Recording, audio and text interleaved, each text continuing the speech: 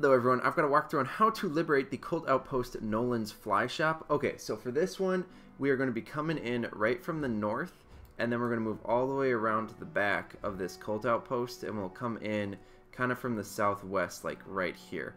And then we're also going to make sure to spot everyone first. I definitely find that to be beneficial for this specific outpost. Okay, and we're going to be clearing this in complete stealth, and then you can get that undetected award at the end. And I don't know where the safe is at this time, and I've been finding that with a couple of these outposts, I haven't been able to find the safe. So what I'm going to do is I'm probably just going to make a video after I'm done with all the outposts, and after I found all the safes, I'm just going to make a video, and I'll probably show every single safe location for all the outposts in that one single video and then uh, yeah we should be able to deal with it that way. Now if someone posts a comment in the comment section on where those safes are for each outpost that would be really beneficial as well. Give people that information sooner. Alright let's go ahead and hop into this on hard difficulty and we're going to be using our hands fists and then also throwing knives.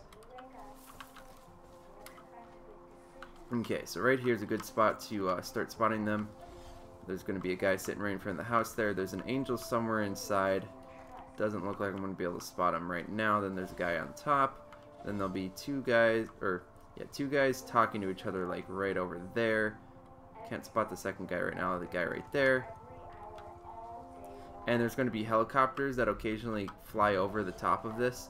So just make sure if the helicopter is flying over that you do not get spotted by it. So stay in a bush or under some trees, something along those lines. Okay, I just want to make sure. Okay, there's another guy. Oh, there's the angel. We have him spotted. Yep, there's another guy right there. And then there's one more guy behind this house over there. But, oh yeah, and then you got badgers inside the cages here. There's like two badgers. Pretty sure there's another one. Yep, right there. Okay, anyway, we are in uh, pretty much position of where we need to be right now. There's one or two more guys we still have to spot, but uh, we're just going to move on in.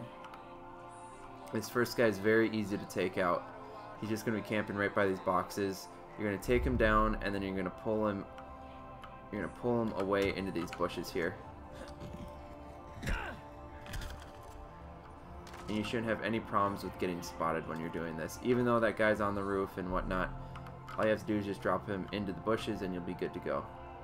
Okay, next guy, you're just going to keep moving right along here.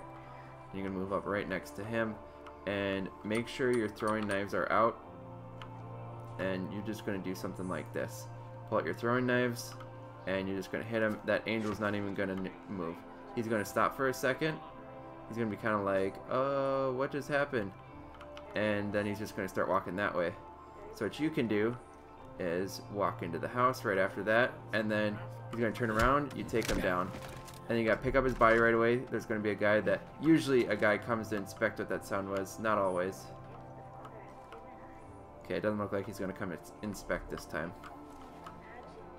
Okay, well, if they don't come inspect, every now and then a guy, that guy like right there that I'm looking at, that guy right there, every now and then he'll come over and inspect inside the house, but it's not doing it this time.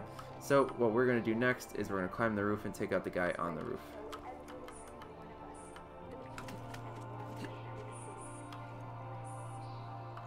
Oh, here he comes. Okay. That guy is coming into the building, I believe. So we are going to want to... Nope, he's not coming. Okay. If he does come in the building, you want to make sure to take him out first. Because you don't want him to spot those dead bodies. Okay, and then this guy, just to make sure I don't like make any noise, I'm just going to use a throwing knife on him. And then we'll pick him up right away.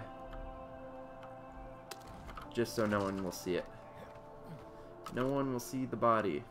Okay, we're just to pop back this way and we'll drop the body right there. Okay, there's our other guy right there. And there should be another guy right over here that we haven't spotted quite yet. I want to make sure we can take out this guy first.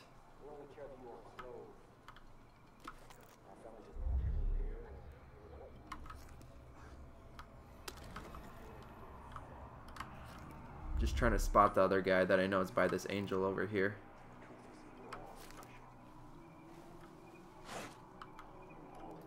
Okay, this guy's pretty much alone by himself. I'm going to just take him down with the throwing knife quick. Okay, he's pretty much in a spot where he's not going to be spotted by anything else. We're just going to leave that badger alone. No one wants to mess with the badger. Okay, and I can walk for a little bit here. We'll be relatively undetected.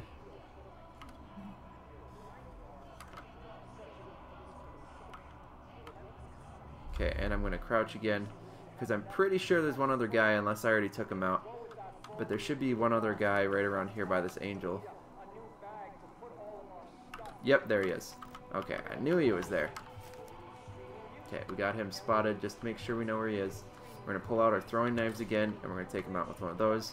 And then we're just going to go straight up to that angel, take him out. Uh, last time I was doing this, I was on the roof. I just dropped right down on top of that guy. You can do a drop takedown. That works as well. This guy won't turn around. The angel won't. Okay, that guy's awfully close. So I'm not always inspecting. Okay, so we're going to perform a takedown on this angel. And then we're going to get real close to this guy. You're getting pretty close into a danger zone here. Oh, and looks like someone else is behind us, unless it's a helicopter again. It might be a helicopter. Okay, we're going to try and take this guy down right away. He's probably going to learn and alarm his friend pretty quick. Okay, throwing knife. Now there's only one left.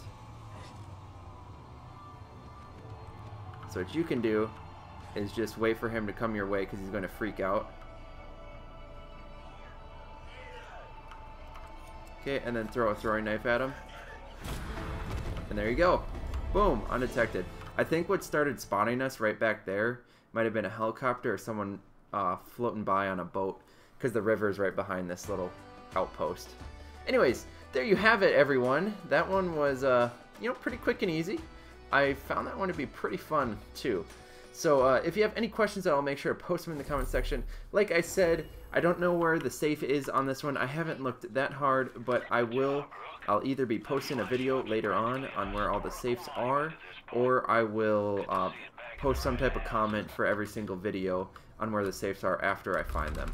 And uh, yeah, I'll I'll be spending time at a later later point trying to find those. So yeah, thank you for watching. Make sure to subscribe if you want to see more videos like this. Uh, click the little button in the bottom left corner to subscribe. I will be posting all of it, uh, walkthroughs for all the rest of the outposts and then also to do, clear them in stealth that is and then also leave a like if you like the video check out the video i'm going to link in the top right corner of the screen and i will see you all in the next one